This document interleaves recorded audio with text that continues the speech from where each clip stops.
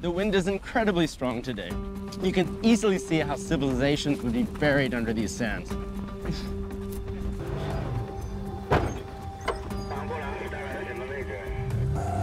So did we randomly find, find someone or? I don't even know what I'm looking for. I guess something white and creamy. The Taklamakan is the biggest desert in China. It's this constant battle between water and sand, life and death. On the other hand, it's a curse because people here are constantly fighting against the desert, trying to preserve area that they live on. There's actually a lot of things happening here to connect people, to bring more hope and development to the communities living around the desert. With the right approach, human beings can work with nature and create habitable places for all of us. You need to really be on site and look at these materials to have those hands-on, intimate experiences, whether they be present day or in the past. The excitement and the feeling of freedom in the middle of this desert with no one around. It was magic. The frontier of China, the heart of Eurasia.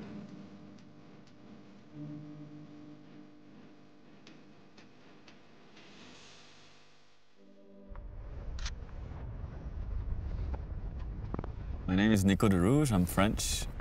I specialize in reportage and documentary photography, which takes me around the world.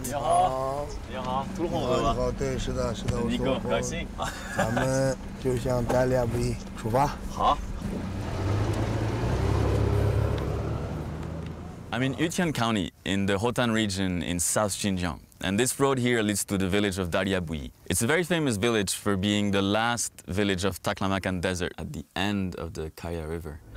Tulhong, he's a very experienced off-road driver, and we're gonna go on an adventure together in the desert to the village. 对面这条河是冰川融化形成的克里亚河，要是这条河干枯了，这个村子，那这些人的生命也就干枯了。 Around the Taklamakan, we have a lot of oases, and they depend on water supply. If there's no water, there's no civilization. And I'm here in Ruoqiang County to visit an archaeological site called Milan. And Milan gives us an indication of the lost civilizations here in the Tarim Basin along the Taklamakan. My name is Neil Schmid. I'm an American and a historian of China. As a researcher, I work at an archaeological site in Dunhuang. When explorers first came here in the late 1900s, uh, able to travel by river, which starts way up in the Kunlun Mountains and flows all the way into the Taklamakan, that feeds the oases on the southern part of Xinjiang.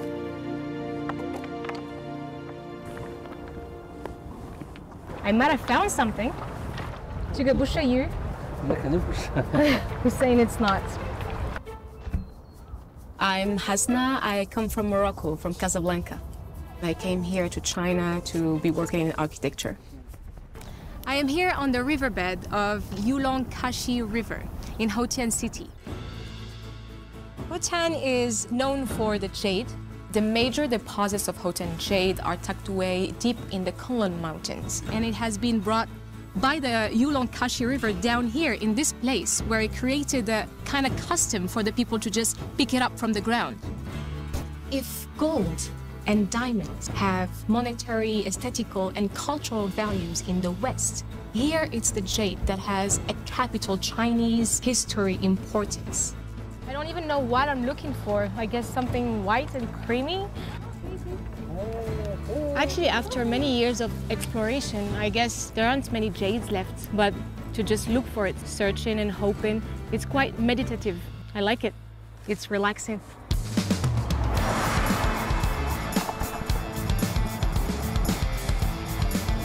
Lauri.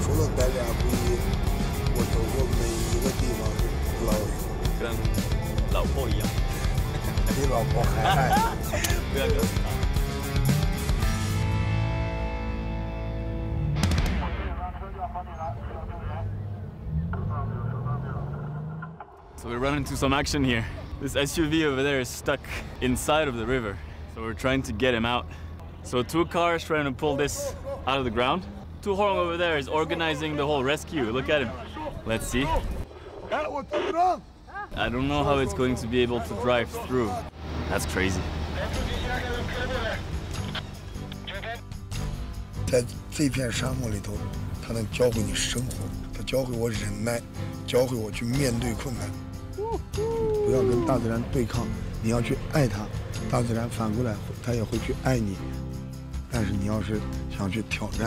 想去战胜它那对不起你就很有可能不存在了你们已经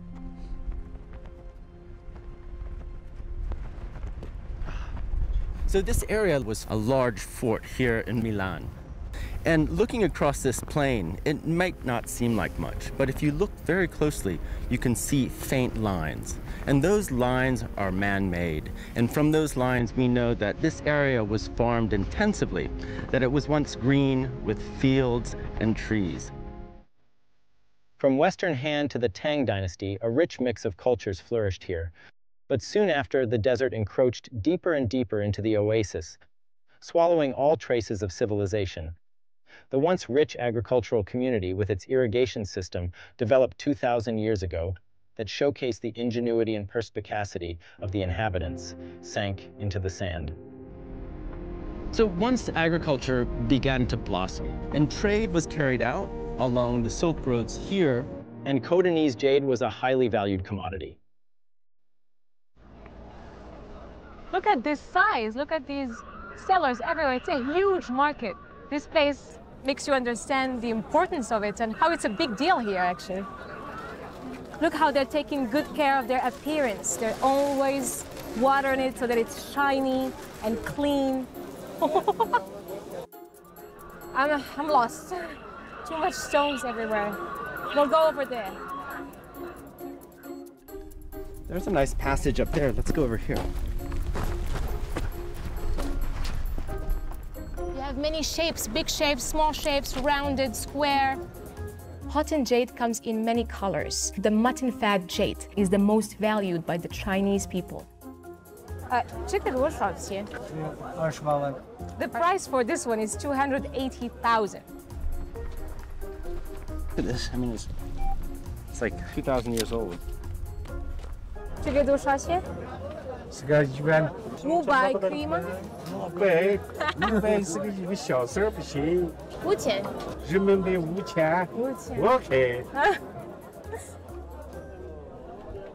I found that quite beautiful, Jade, in this region, and it brings economically a lot of benefits to its people for them to feed their families and live by their natural resources that they had in the land. After six hours of driving, we just arrived at Daliyabuyi village. It's super quiet here. I don't see anyone on the streets, but there's a house over there.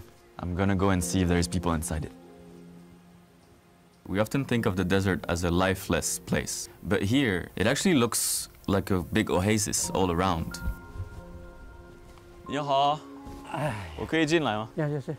Nico. Before coming here, the only things I knew about Daliyabuyi village was that it got discovered in the 1890s. Oblam just showed me around his house and his yard, which is pretty huge. 这个是什么用的？Bunun kilosunu 200 koy alacağım de. Tire ticaretçiler tonu. Bir 50 baba. He. 你在上学吗？上学。再说。别这个。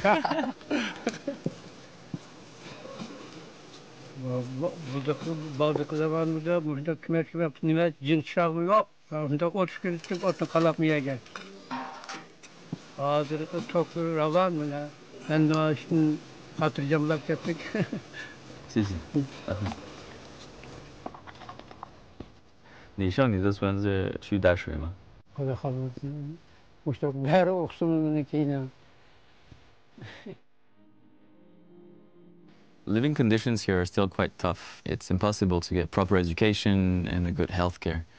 And that's why there was a new Daliyabuyi village built a couple of hours from here. So it's a little bit sad to see a traditional village like Daliyabuyi get empty. Just like in most parts of the world, it's a natural evolution of people wanting to find better life conditions and start life from there. The desert, it's both a curse and a blessing. It's a curse because people here are constantly fighting against the desert, trying to preserve area that they live off. This is a little example of what's left of the vast number of monasteries and stupas that populated the city of Milan. And these were possible because of the agriculture and the trade that passed up and down the Silk Road. Once the fields were no longer maintained, the trees were no longer there to prevent the sand from flowing over the fields. And this is what it looks like today. We just drove 200 kilometers through the desert from Daliyabuyi to the new village where kids just got out of school. Let's see if we can find Obol's grandson.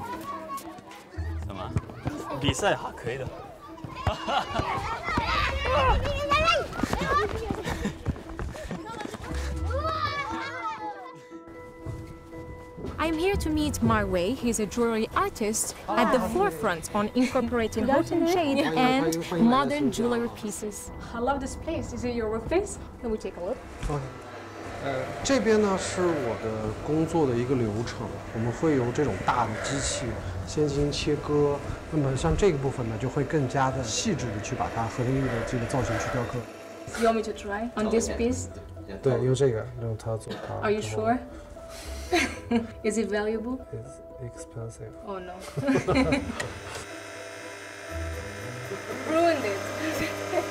That's tricky. Wait. 因为我父亲是一名国家级的玉雕大师，我出生的时候就是在玉器工厂里出生的，到现在为止，可能我做玉也将近二十年的时间。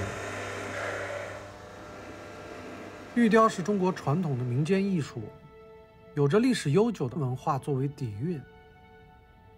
审美对于玉雕来说，不仅是对工艺品的审视，更是对于文化内涵的一种审视。和田玉其实可以做得很高级，我尽量会把有意思的设计都放在珠宝和和田玉的结合上，包括我的很多作品都是中国风，其实只是把表达方式改变了一下。我们的艺术审美其实是长在我们自己的心里的，之后是一代一代传承的。好？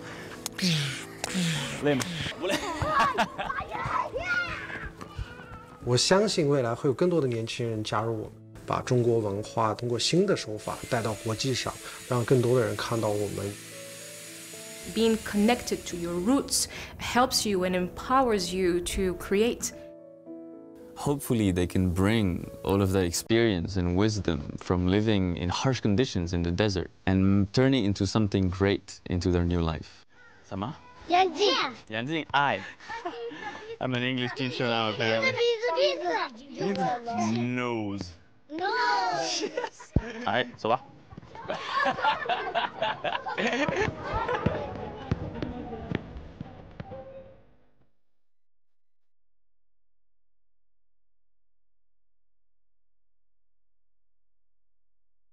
For an archaeologist, there are two constants one is geography and one is climate. It influences the rise and fall of civilizations. Milan is just one example of the many, many sites, especially along the eastern Tarim Basin. I'm here in a place called Cele. This is the Temple of Damoko from around the 6th or 7th century. It's one of the smallest temples ever discovered. Only allows one person inside. Cele at that time was a very, very important part of the Khotanese kingdom, where we have this incredibly refined art. Khotanese school of painting combines cultures from Western Asia, Indian culture, Chinese culture in a very unique way. And this temple then was active for another 400 years until about the year 1000, and then for a thousand years, buried under the sands. It means that it's a kind of cautionary tale. Once things begin to break down, sand control can't be maintained, the desert will take over. Cele is known also because of this sand control station. The work that's being done here gives us methods and ways to understand not only past changes, but also future hopes. So I was crossing through the desert and there was miles and miles of nothing. And then I just see this town. I'm in Tazhong. It's a town that has been built recently. It has played a key role in the development of the transportation in the whole desert area. It's really unbelievable, just full of life. I heard this was the very first restaurant in Tazhong. Let's go see. 你好。我叫关红玉。关红玉. Great. How many people do you receive here every day? 我我这没数过，好像有几百人吧，得有。你看我们这有过路的人、当地的人、旅游的。嗯。当时我们是走这条沙漠公路的时候，前后几百公里吧，都没有什么吃的地方，就是有点荒凉。当时那个年代，想留到这块试一试。当时来的时候没有水，就是我们都要从很远的地方，我们县城里边往这边拉水，就是特别远。I'm here 60 kilometers away from the Qiemo County in southeast Xinjiang. And this is the construction site of the Heruo Railway. The railway follows the northern foot of the Kunlun Mountains and the southern edge of the Taklamakan Desert. So the Taklamakan Desert is so large so most people based in the different oases that are spread around. With this railway, people can travel in and out of Xinjiang way easier. As a documentary and industrial photographer, I'm super excited to shoot such a mega project, especially in a challenging environment like this one. I'm about to meet Wang Jingzhong. He's the director of the whole Heruo Railway project. Uh, yeah.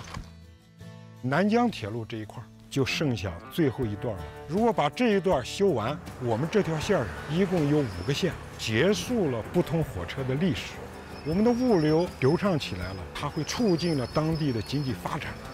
我们这条线上没有隧道工程，没有大江大河，我们都是这个沙漠，这是我们最大的困难。曾老师，你好，你好，我是 Neil。你好，你好。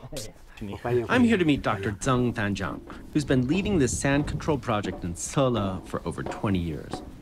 好高，对，这个这个地方自然景观看，嗯，非常好。那为什么在策勒建立这个治沙站？一九八二年的时候啊，策勒县已经搬迁了第二次了，沙丘前沿，离咱们策勒县城只有一点五公里地了，我们就策划筹建咱们策勒站了。咱们现在站的是这个位置，三十年以前沙丘连绵呢，现在你看看看，就是个人工绿洲一样的。Oh wow, that's a real fish farm. 种的有菜，有葱，有香菜，有生菜。哦，樱桃树，这个快熟了，看没看到？是吧？看出来。嗯，很酸。看看我们的后花园，西瓜苗、香梨树，还有苹果树。我们都来到这块儿，就是为了把这个地方做得越来越好嘛。你看，我都来二十年了，从最初的无到现在的一片绿色。以前最初是我一户，现在都变成至少有几千人在这块儿，肯定将来越变越好。嗯，这是百分之百的。嗯。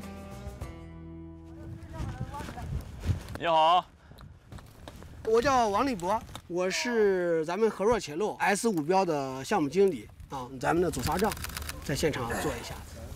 This is a fence made out of reeds. It's the first barrier in their whole sand control system here to prevent sand from getting to the railway. So it's the first step. The objective is to keep the sand out. Hello. Hi. What are you doing? They're taking roots, right? Yeah. My name is Abdullah and I'm from Pakistan. We are digging just to collect the root samples, oh. examine the root, mm. how they respond towards the water scarcity. Mm -hmm. Okay, can I try? 咱们朋友试一下这个，连一下子，你看这样打一个斜向的叉，往对。这我我会不会发现一些纹路？啊，这这这应该不会。 到十几米、二十几米。开玩笑。真的。对对，一条对，一年的。So this is not easy work. I already, I'm already bleeding from a finger just from installing a few. Look at it. They have to install two per mesh, and that's all the way along. He was explaining to me that in the summer, the temperature here gets up to 43 to 48 degrees. Must be tough. Sand control is not easy. It takes a lot of different methods, but it also takes a lot of backbreaking work. And so it was impressive to see, especially these young people, being interested in this very, very important research. It's crazy to think that you have a railroad project, but a whole department of the whole project is solely allocated to sand control so that the rest of the project can move along. 经过这这么多年的工作，我们第一阶段纯粹治沙，可以说是你死我活的关系，确确实是为了人类生存。第二个发展阶段就是要把沙地收回来以后变废为宝。第三阶阶段，人与沙嗯它的这个和谐。你好，你好，欢迎到塔中植物园来。哎，我是叫长青。高兴高兴。食盐，咸的。红的耐盐的植物很多都是带咸味的。It is hard to believe, but actually I'm in a botanical garden in the center of Taklamakan Desert. It's the world's only garden of this sort. I'm here to meet Chang Qin, who is a chief botanist who has led this project for 19 years. What's the idea behind creating botanical garden in the middle of the desert? 塔克拉玛干沙漠就要修一条很大的公路。如果说是不做防沙处理的话，几场沙尘暴，它那个路就给掩埋住了。所以我们就想再选出能适应这种环境的物种，用生物防沙的技术用在沙漠公路上。最大的影响还是在环境上的影响，空气的湿度增加了，同时各种鸟类、小动物就越来越多了。我在二十年前到这来的时候，这个地方是寸草不生，总感觉这个地方太荒凉、太寂寞了。这片沙地能把它做出这么绿，一般人是想象不到的，在常规人想象中算是一个奇迹吧。What's happening now is that they're bringing down the long rails from the back over there. They're installing the rail first, and then they will move on with the machine, install the sweepers, and lay the rail on top of it. It's incredible. 你好。俄罗斯还是美国的了？法国的。法国的。来，你你们呢？你们是本地人吗？呃，我们是山西的。山西。可以说，沙漠化防治这个话题啊，也不仅仅是咱们中国的话题，是全球面临的。我们把策略模式推广到条件类似区域。是一种沙漠精神的一种传承。征服沙漠，我觉得达不到了。改善一下环境，让这个环境更加能适应人的生存吧。我也希望这些物种能走出这个植物园，给更多的地方带来绿色。I've never been in a place like this. It creates life inside of a sea of dryness and death. 是不是甜的？嗯，很甜，很甜的是吧？这个就是你吃的那个菜，它已经快落了，已经落了这种。The place is just allowing you to connect with the nature, telling you the story of thriving and, and survival into a difficult, challenging atmosphere.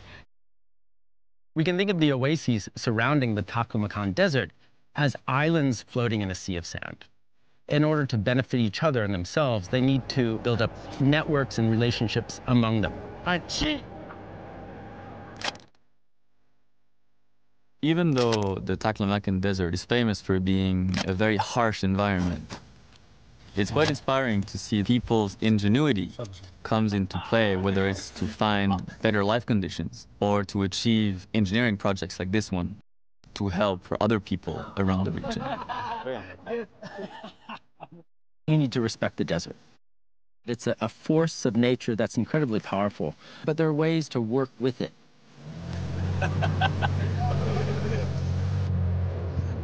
it's quite touching because there's a real passion among these people who consecrated their lives to Xinjiang, the Taklamakan.